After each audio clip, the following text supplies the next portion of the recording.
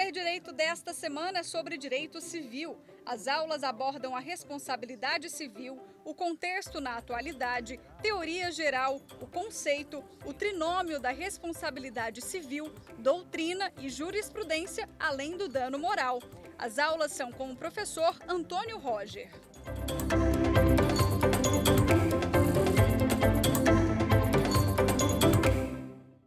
Trinômio básico da responsabilidade civil.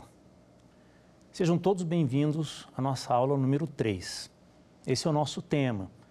Vamos aqui desenvolver a teoria geral e, nesse aspecto, estenderemos ao chamado trinômio básico da responsabilidade civil.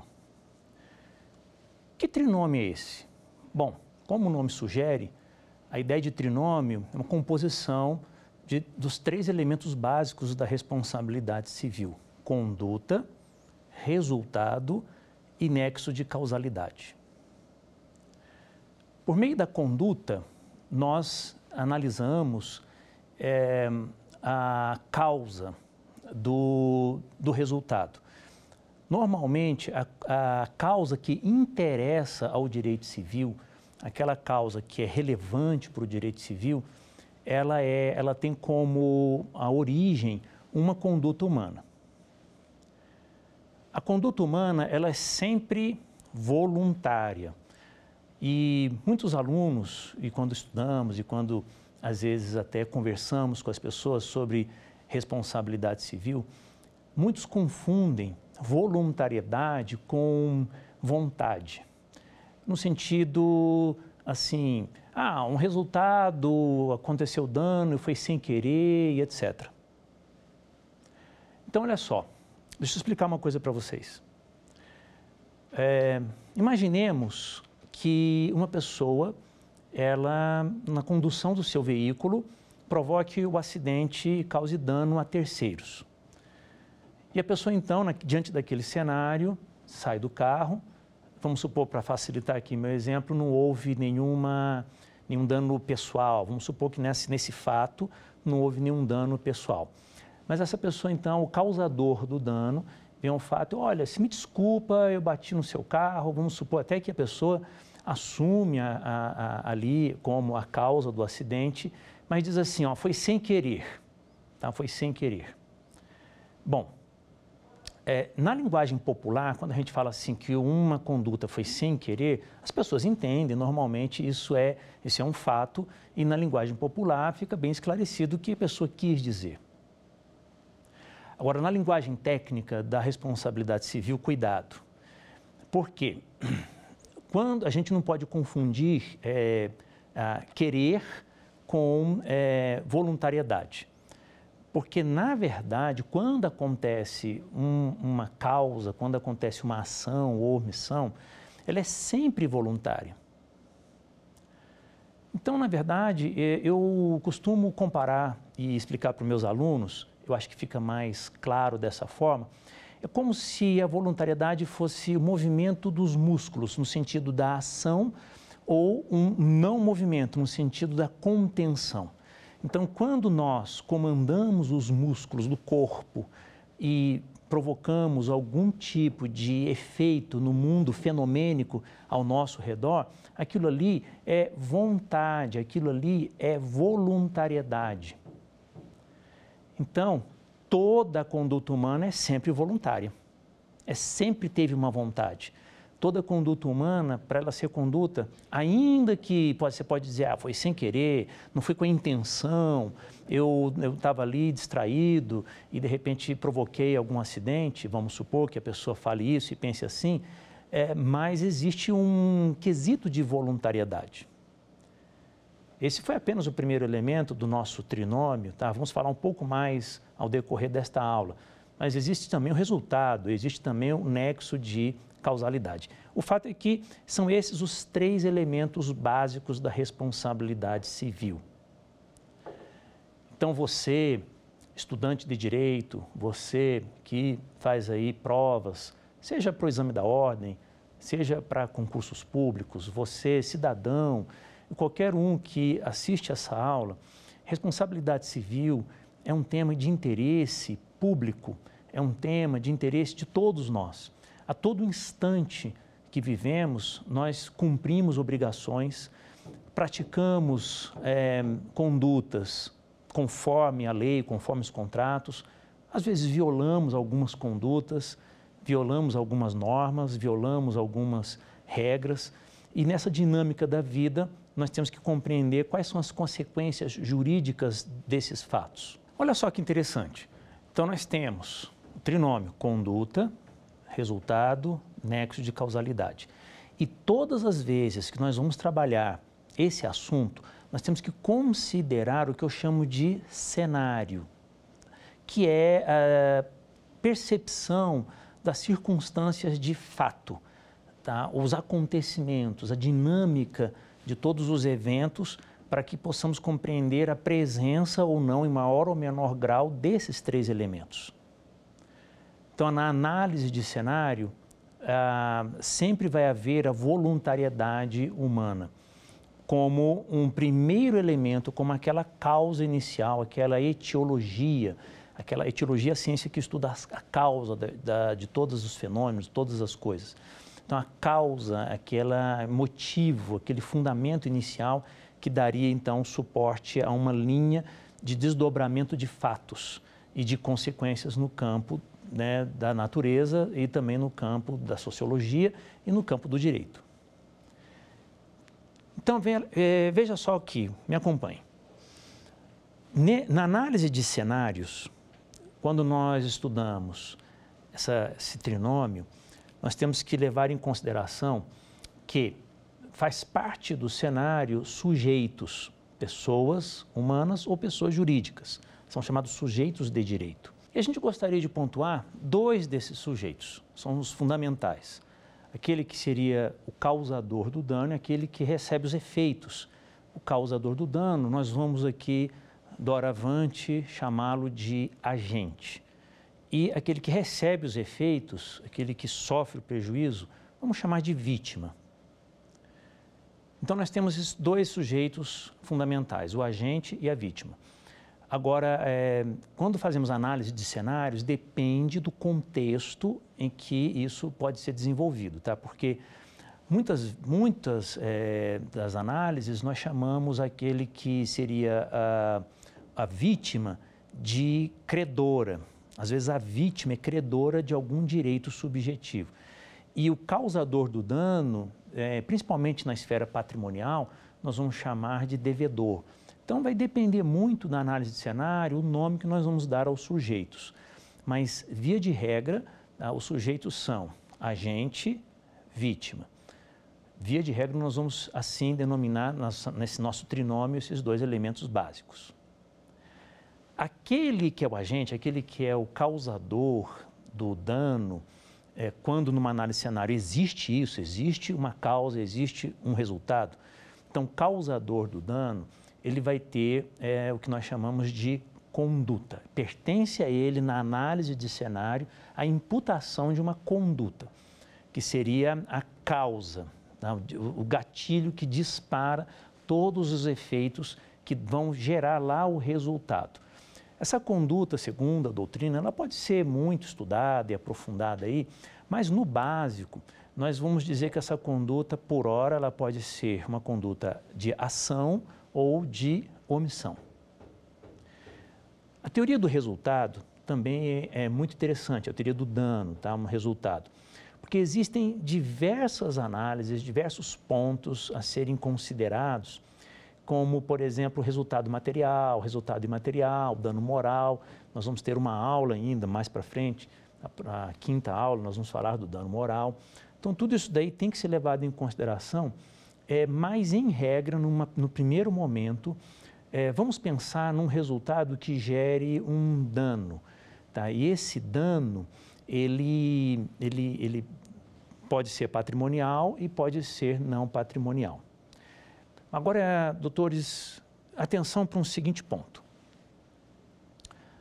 Minha, a minha análise aqui né, de cenários permite que eu faça uma ligação entre o que nós falamos em aulas anteriores e o que vamos aqui para frente na próxima aula também tangenciar.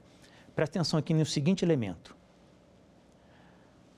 Quando nós tratamos desses, dessas, desses elementos básicos de responsabilidade civil, é, é importante não só ficar nesse, nesse básico de conduta, resultado, nexo de causalidade, mas dar um passo adiante.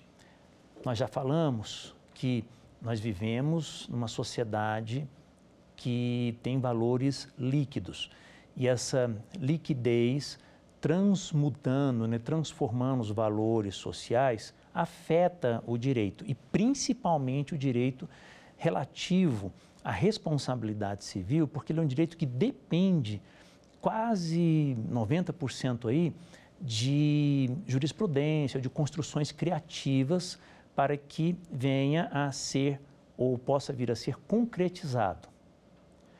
Nessa linha, como é que está se desenvolvendo aí o direito para garantir um resultado efetivo de indenização da vítima? Ele está se desenvolvendo assim. Até uns anos atrás, o, o que era considerado, que era necessário para caracterizar o trinômio básico, era um dano material. E conforme a primeira aula e a tendência que nós mostramos, né, a tendência de objetivização da responsabilidade civil, vale dizer, a tendência de valorização da responsabilidade civil objetiva, muitas vezes o dano efetivo ele não acontece. Mas o vetor de conduta chega perto desse dano efetivo é, essa aproximação do dano, mas sem exatamente acontecer o dano, nós vamos chamar de perigo.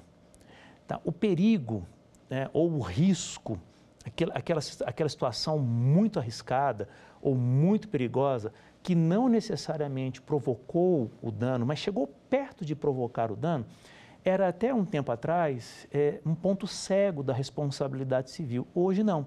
Hoje nós temos uma tutela, proteção específica para aquelas aproximações da conduta em direção ao dano sem encostar no dano.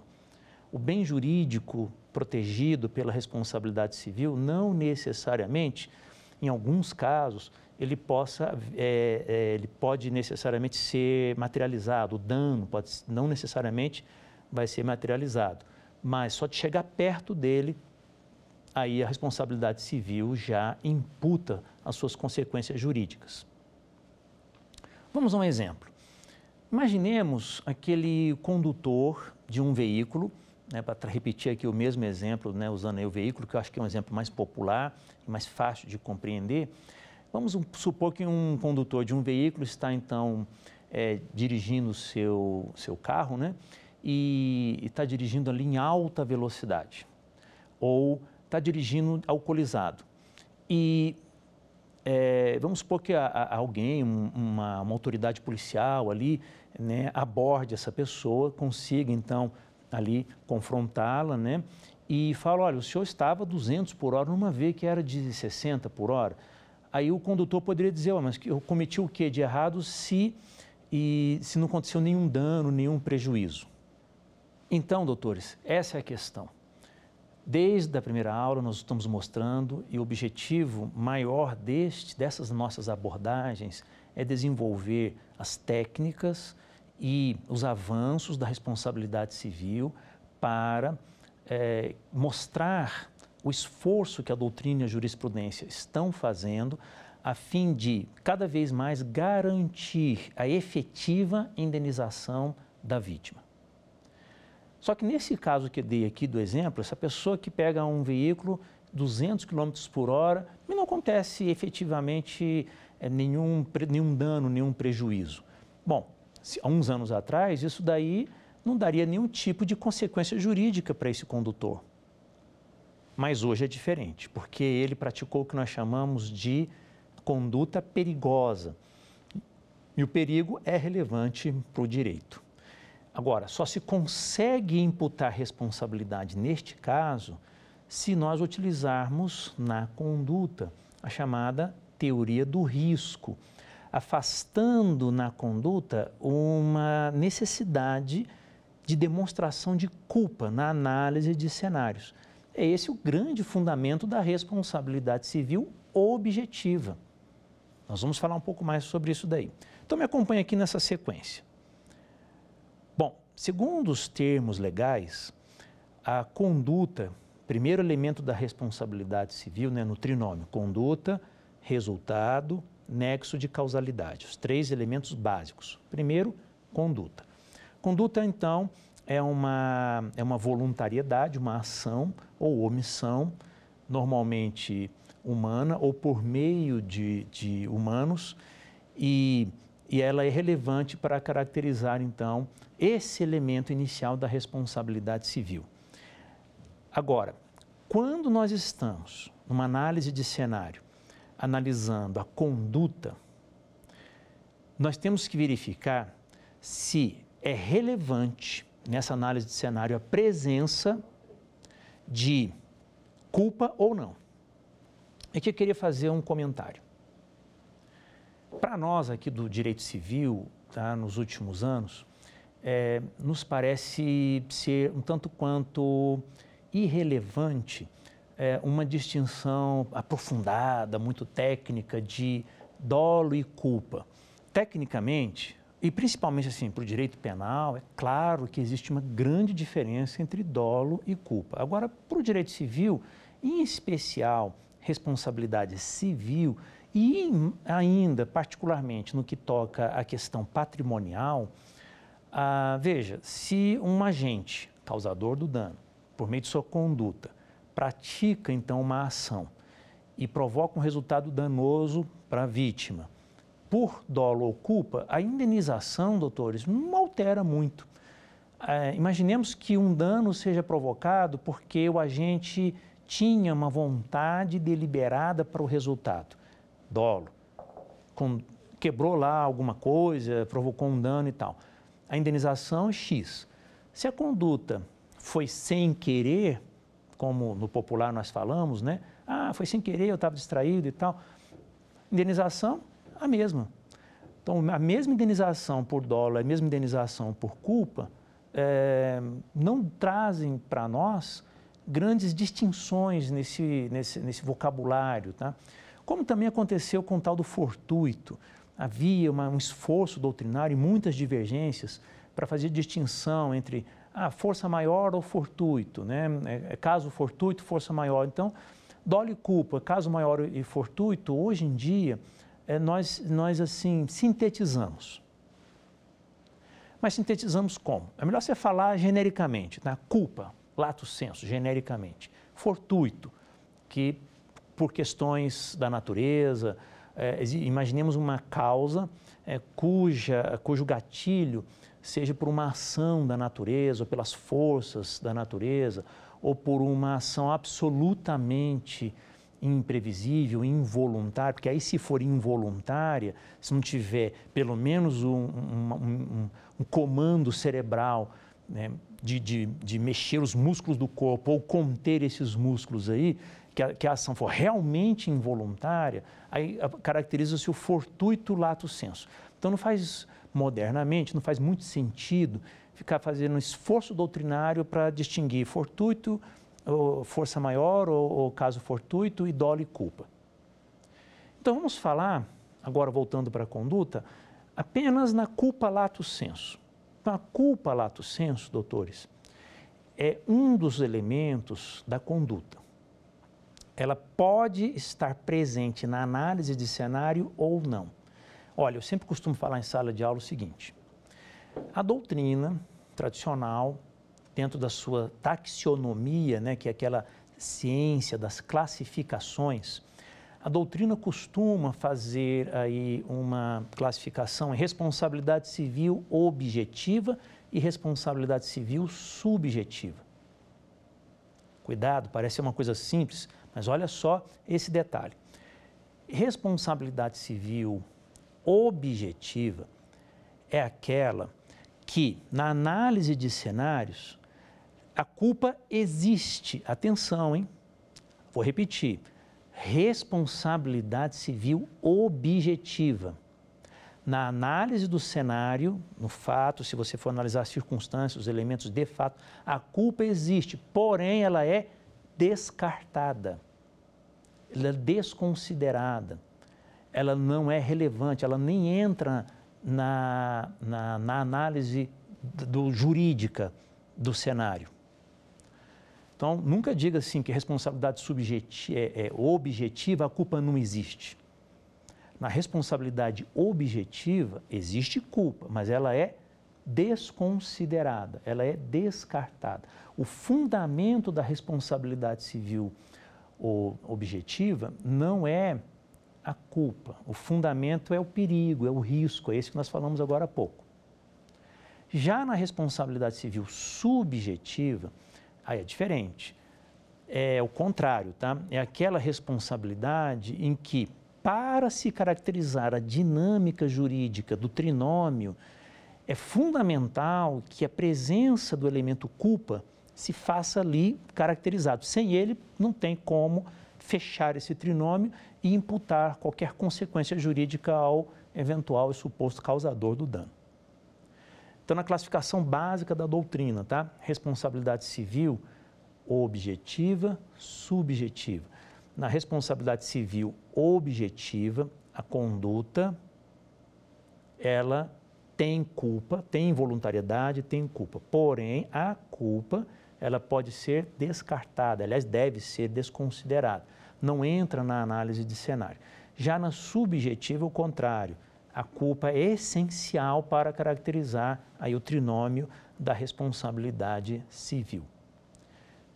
Então, afastamento da culpa né, na análise de cenários é, constitui uma trilha de evolução da responsabilidade civil, justamente na busca de garantir maior efetividade, maior concretude do direito de indenização ou compensação, enfim, reparação para a vítima.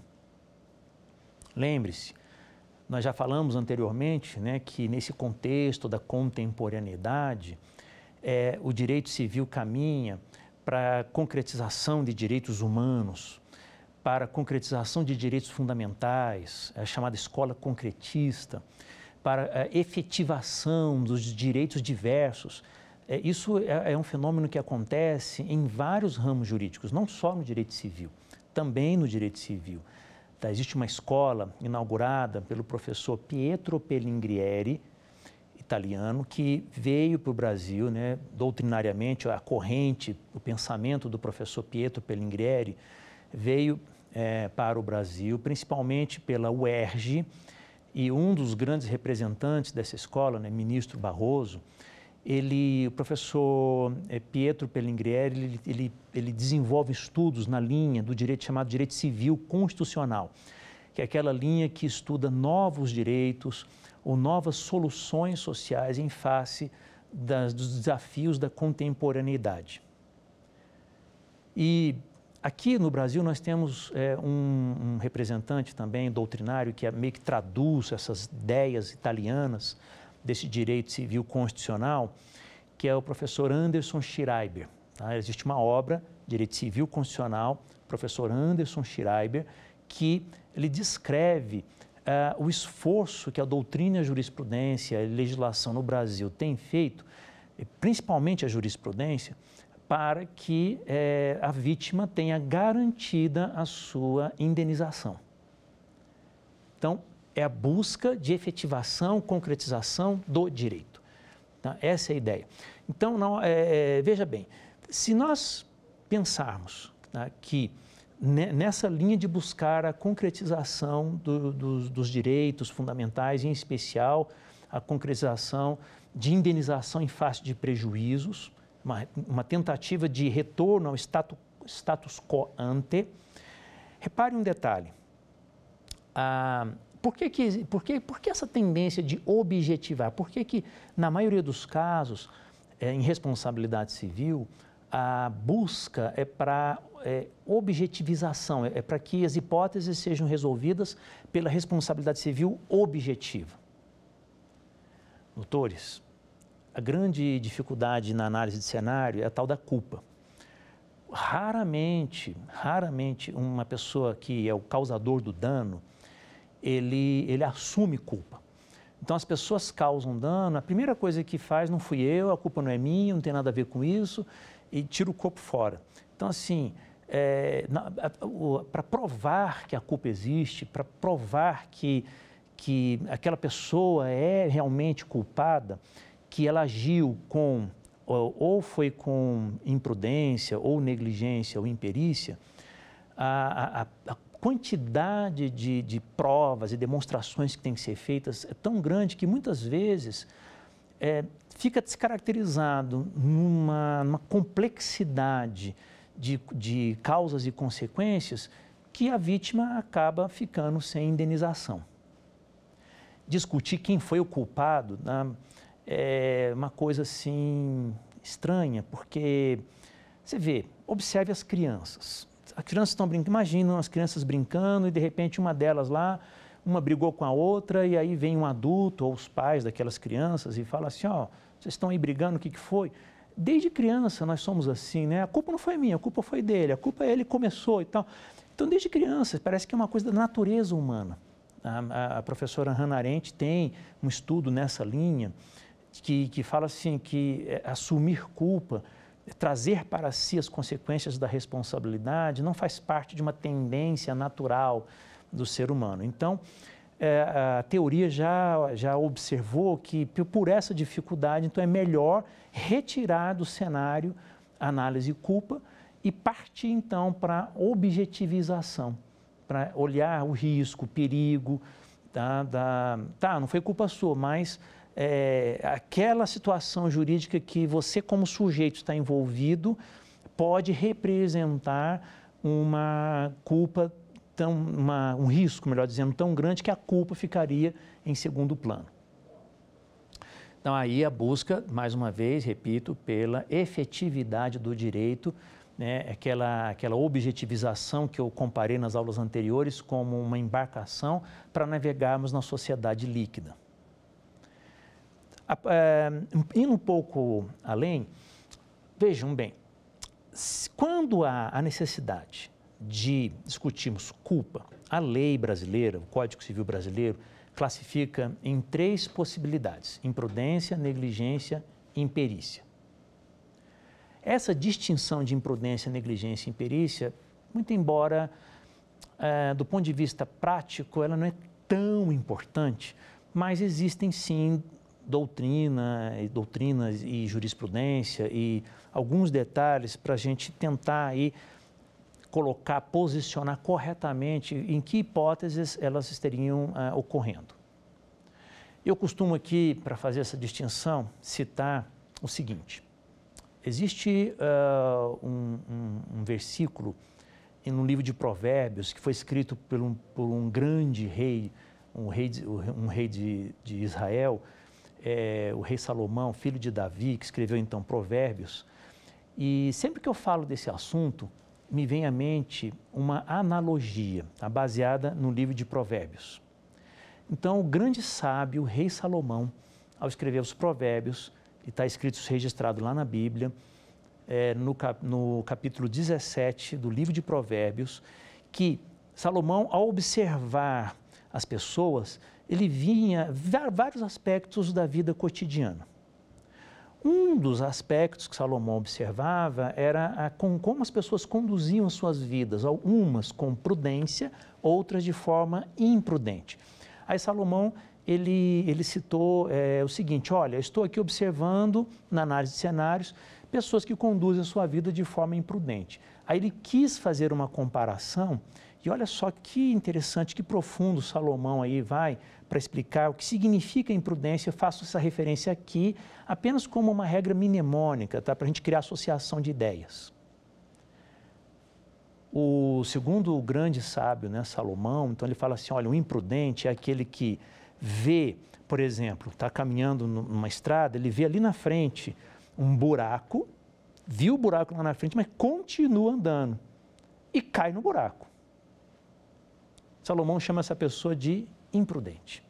Então, a pessoa que vê o buraco e cai no buraco. Então, Como é que fica isso daí trazendo agora para o direito e a parte técnica do direito? O que seria imprudência?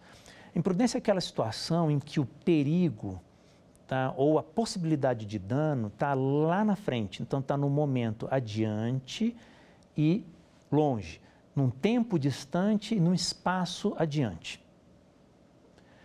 Então, quando quando estava lá o perigo, a pessoa, por exemplo, está numa velocidade muito alta, está muito alta, e tem ali, tá, tá alguém passando uma faixa de trânsito lá na frente. A pessoa já olha ali, vê alguém passando na faixa de trânsito, mas mesmo vendo o perigo lá na frente, continua com a mesma velocidade ou não toma as providências para reduzir a velocidade do seu veículo, por exemplo.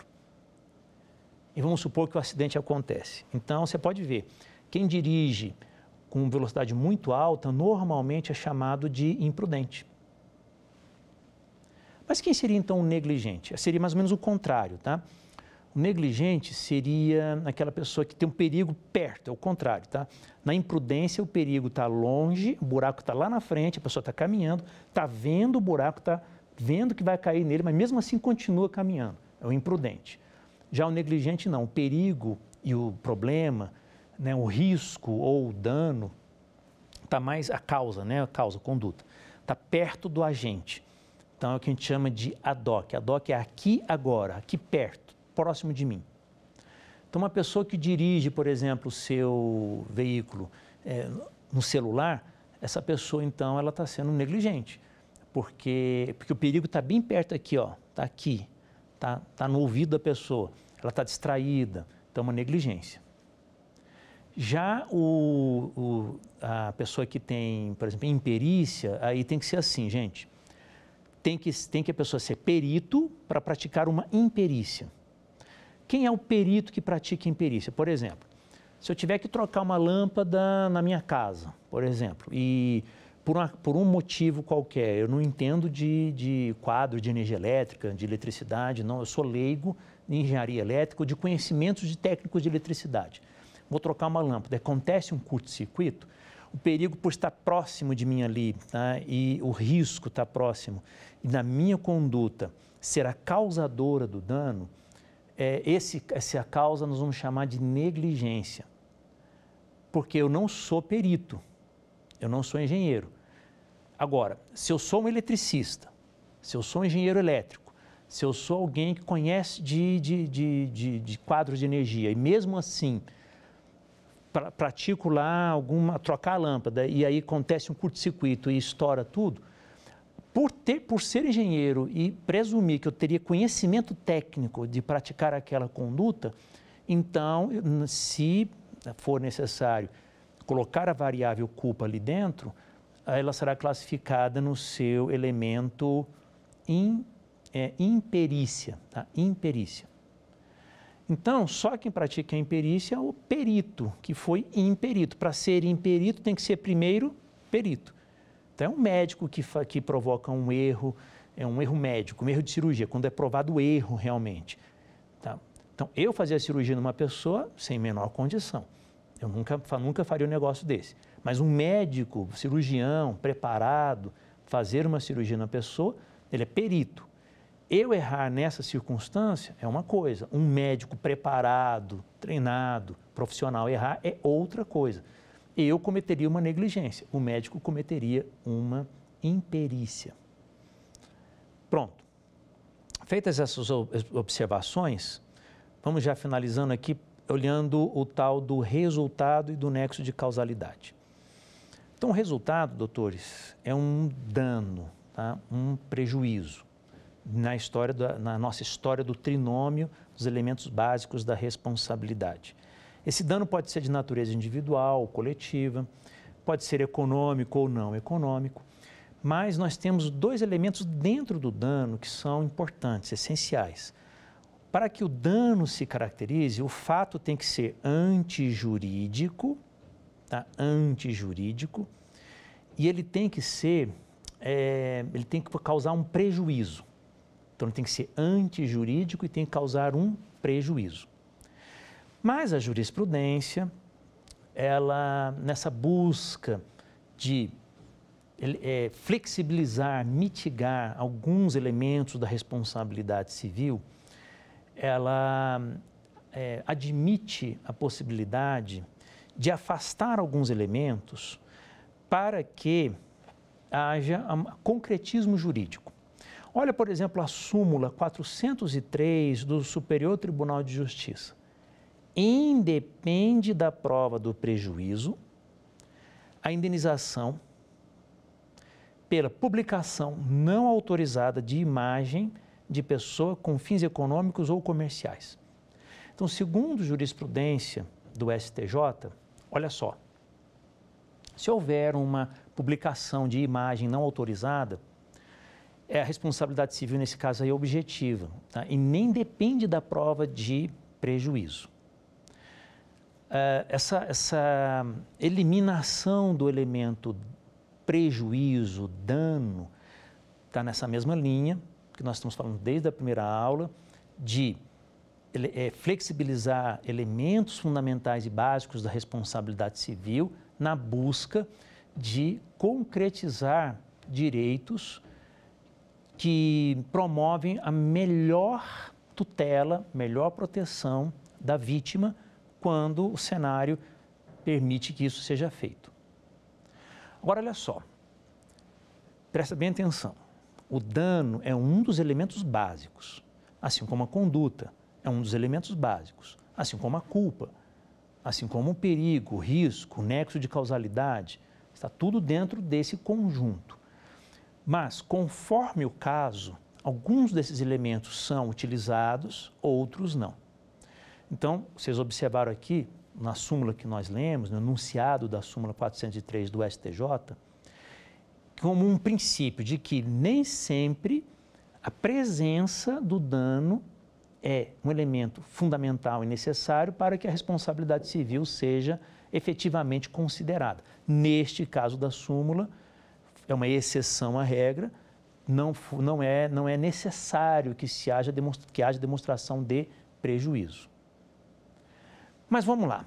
Quando o dano é levado em consideração, quando o dano está presente na análise de cenário, aí, doutores, nós temos que pensar nos dois elementos intrínsecos internos que formam o dano primeiro é antijuridicidade, o segundo é prejuízo efetivo mesmo, quando o dano é considerado.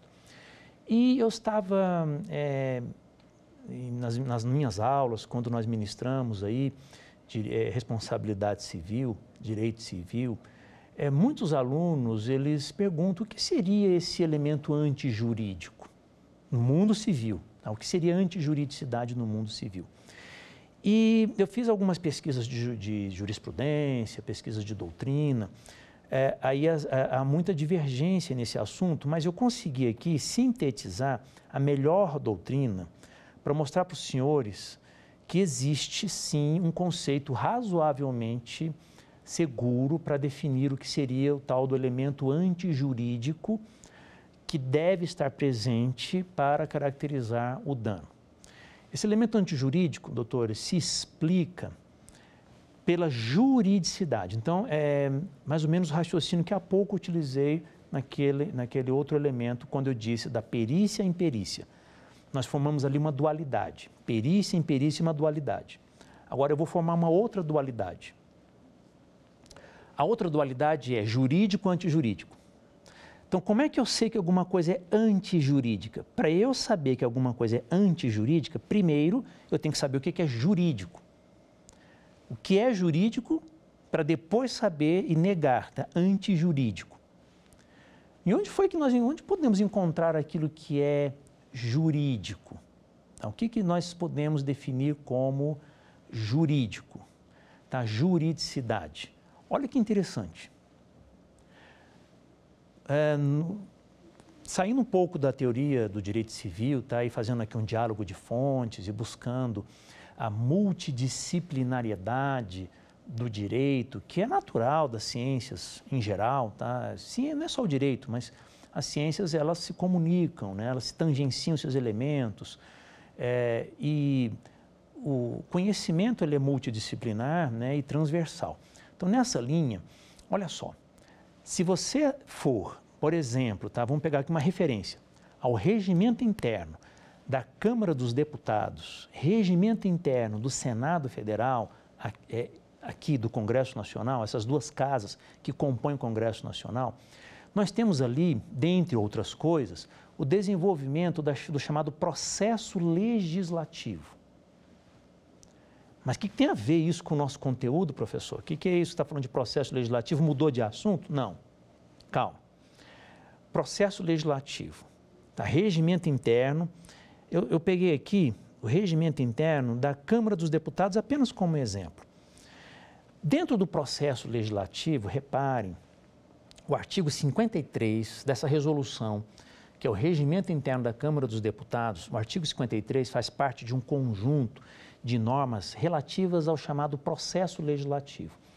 E lá, numa das fases do processo legislativo, todas as leis, todas, inclusive emendas constitucionais e leis, to todas as leis do processo legislativo, antes de serem leis é, e, e todas as suas variáveis, tá? seja lei complementar, lei ordinária, lei delegada, a própria emenda constitucional, tratados e acordos internacionais, e decretos, resoluções, etc., etc., até medida provisória, quando no, no, no projeto de conversão, internamente nas casas, elas passam por uma comissão lá, que é uma comissão chave, fundamental do processo legislativo, que é a Comissão de Constituição, Justiça e Cidadania.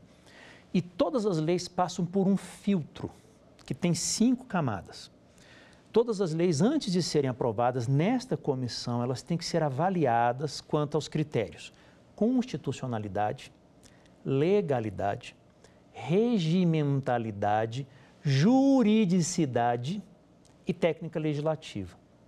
Então, o, o Congresso Nacional, que é a fonte primária das leis, no processo legislativo, para mim, tem um conceito semente fundamental de juridicidade, porque é lá nas comissões, principalmente na CCJ, que é avaliada a juridicidade de uma lei. Se a lei for antijurídica, ela não passa pelo processo legislativo. Mas então, o que é juridicidade? Bem, juridicidade, doutor, está associada à ideia, agora vamos para a doutrina, tá? De razoabilidade, proporcionalidade. Temos uma outra lei que explica isso. Se você for comigo na lei 9784, 9784 de 99, que olha que curioso, fala do processo administrativo. Nós temos um fundamento ali no artigo 2 parágrafo único do, do, do que é razoabilidade e proporcionalidade. Para mim, eu explico isso para meus alunos, tá? Repetindo, tá, gente? Lei 9784 de 99, 9784 de 1999, uma lei ordinária federal, Artigo 2 parágrafo único. Temos os critérios, os princípios que regem o processo administrativo. Mas eu posso retirar a essência, a ontologia, a essência desses princípios para mostrar que esse parágrafo único tem todos os critérios, todos os critérios, a melhor definição do que é razoabilidade, proporcionalidade. E aí podemos linkar o que a Lei 9.784 define como razoabilidade proporcionalidade com juridicidade. Então, o que é algo jurídico? Bom, na filosofia do direito, seria, vamos assim, agora numa ideia bem geral, tá? Uma filosofia do direito seria uma ideia assim de o que é relativo à justiça, o que é probo, o que é correto, o que é, é, é, útil, o que é necessário, o que pode é, é, cumprir uma função social. Do ponto de vista jurídico, razoabilidade e proporcionalidade tá, são, são associações de ideias do que eu chamo de matemática jurídica. Porque a palavra razão na matemática é uma relação. Então, se você pega, por exemplo, três quartos, olha, matemática em três quartos nós somos das letras, mas aqui eu estou me recorrendo um pouquinho aí à lógica matemática. Então, 3 quartos é uma relação, tá? Uma relação. Então, no denominador, na parte de baixo, nós temos um número que representa é, uma relação com o número de cima. Tá? Então, 3 quartos. É, isso, é, esse tracinho que nós, que nós colocamos na fração 3 quartos, na sua representação gráfica, matemática, na escrita 3 quartos, esse tracinho é razão. Razão é como se fosse uma divisão. E ali nós temos, então, uma equação. Vamos trazer isso por direito? A Lei 9.784, artigo 2, parágrafo único, dispõe é, sobre essa razão entre os elementos.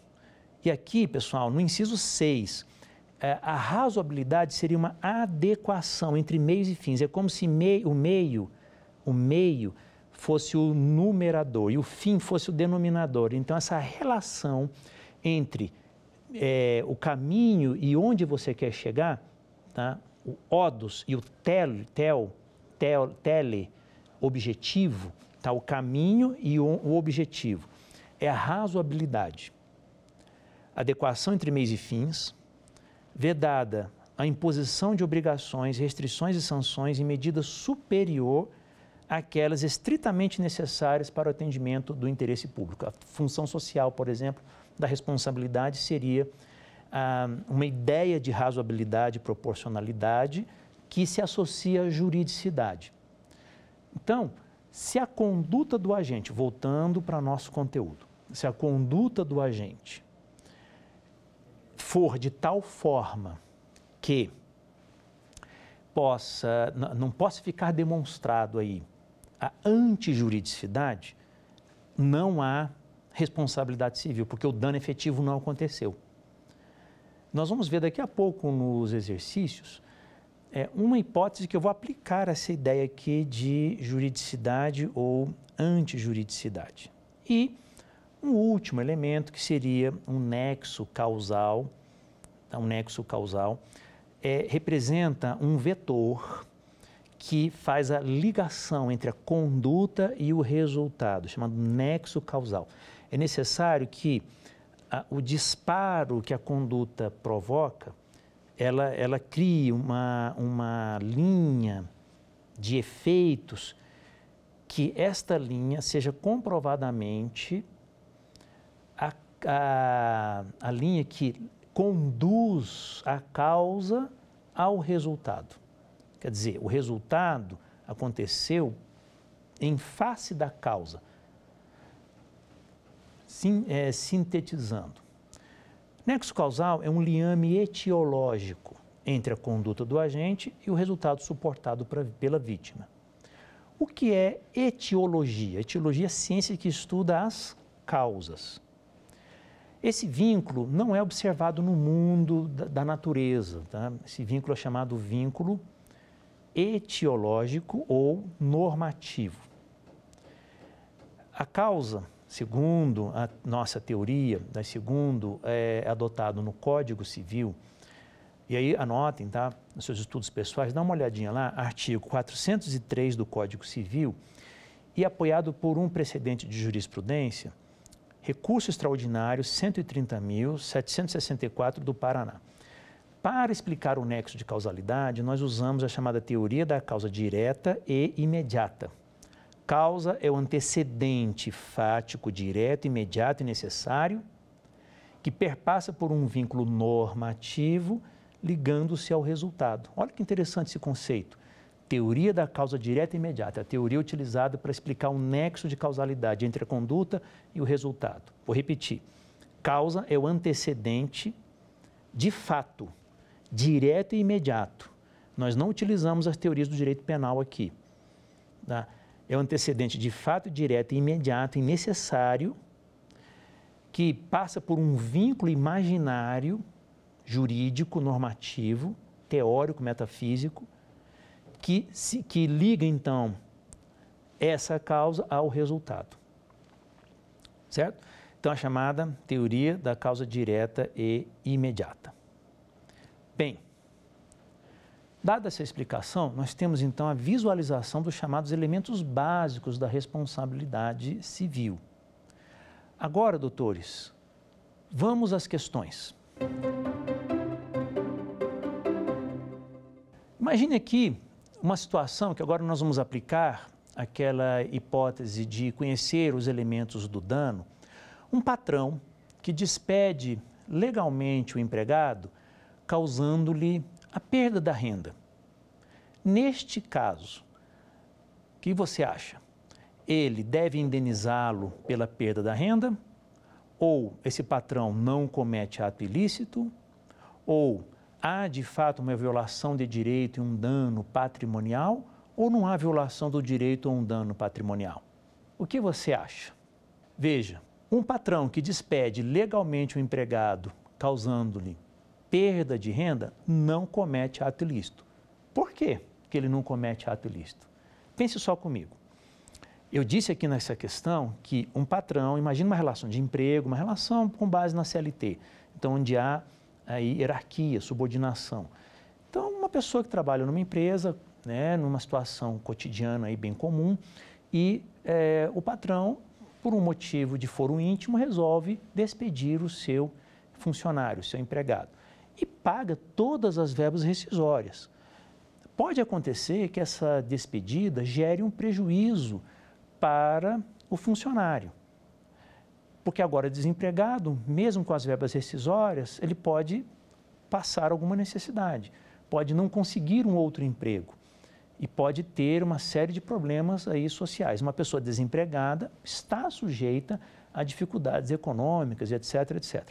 Podemos dizer que esse patrão que despediu o seu funcionário, é, se ele fez a despedida nos termos da lei, ele, ele, mesmo causando prejuízo para o funcionário, mesmo causando desemprego, uma dificultação financeira, um, um, um, problema social, um problema familiar e etc, etc, esse patrão ele, ele seria responsável por esses prejuízos? Não, claro que não, porque ele, ele despediu legalmente. Então, tá, mas não, você não viu comigo que o dano é, seria um prejuízo? Mas não basta só o prejuízo, o ato tem que ser ilícito. Nesse exemplo, eu falei que o ato foi lícito. O ato foi conforme a lei. Despedida pagou todas as verbas rescisórias. O patrão fez exatamente conforme a lei. Então, se o ato é lícito e causa prejuízo, não há dano efetivo. Agora, para ser dano efetivo, teria que o ato ser ilícito, ou seja, antijurídico, tá? antijurídico, e causar o prejuízo. Nesse caso do patrão, não foi antijurídico. Essa é a questão. Vamos para a próxima?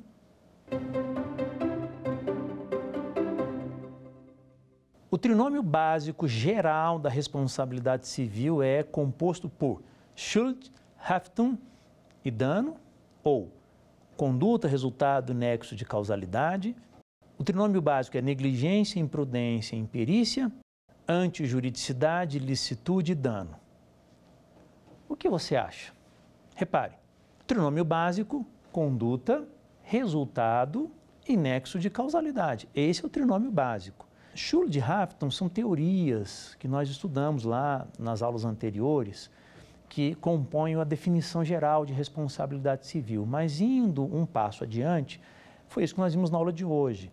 O trinômio básico, conduta, resultado, nexo de causalidade. Lembrando sempre, desses trinômios, conduta, resultado, nexo de causalidade, eles estão sempre presentes na análise de cenário.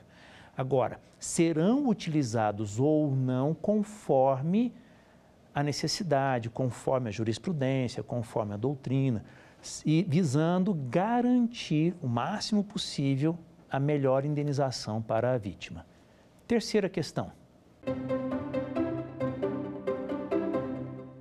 É a consciência potencial do dano non ad hoc à técnica.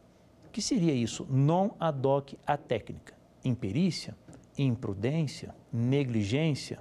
Ou isso é uma exclusão do nexo de causalidade? O que você acha? Repare, negligência. Olha que expressão interessante, tá? Non ad hoc, tá? Non ad hoc. A técnica. O que é a negligência? Veja só, pessoal a, a, a, segunda doutrina, a imperícia, ela seria um derivado da negligência. A diferença é que na imperícia, o sujeito causador do dano teria que ser um perito. Na negligência, não, é um leigo, tá? um leigo. O ad hoc é aquela expressão que se diz assim, aqui e agora, tá? aqui e agora. Então, é, é, é, e ela não é técnica, né? A técnica. Então, aqui e agora, a técnica. Então, quando nós temos, eu, aquele exemplo que eu dei, né? Eu vou trocar a lâmpada da minha casa, eu não sou, eu não sou eletricista. É muito simples esse, essa atividade, mas pode dar alguma coisa de, de errada. É, se eu não sou técnico, se eu não sou eletricista, se eu não sou engenheiro, e pratiquei a minha conduta de trocar a lâmpada e por causa dela, vamos imaginar hipoteticamente que isso gerou um dano, gerou um prejuízo, então eu pratiquei, se for considerar o elemento culpa, eu pratiquei uma negligência. Se eu sou engenheiro e pressupõe conhecimentos técnicos, um cuidado que eu deveria ter, se eu sou eletricista, experiente, ou um engenheiro elétrico, alguém da área que conhece a parte técnica aí de eletricidade, e provoca o mesmo prejuízo, presumindo-se que eu deveria ter esse conhecimento, então provoco uma imperícia, caso seja necessário é, analisar o elemento conduta, culpa na análise de cenário. Bem, que vimos nesta aula, então, foi o trinômio básico da responsabilidade civil. Conduta, resultado, nexo de causalidade eles vão variar, mitigar conforme a necessidade, conforme a inteligência jurisprudencial determinar, para buscar efetivamente a melhor tutela para a vítima. Essa é, esse é o direito civil, responsabilidade civil na contemporaneidade. Nós finalizamos então a aula é, número 3, o trinômio básico. Bons estudos para vocês e até nosso próximo encontro dar alguma sugestão de tema para os cursos do Saber Direito? Então mande um e-mail para a gente, saberdireito.stf.jus.br ou entre em contato pelo WhatsApp. O número é esse que aparece na sua tela. Você também pode estudar pela internet. Acesse nosso site tvjustiça.jus.br ou pode rever as aulas no canal do YouTube TV Justiça Oficial.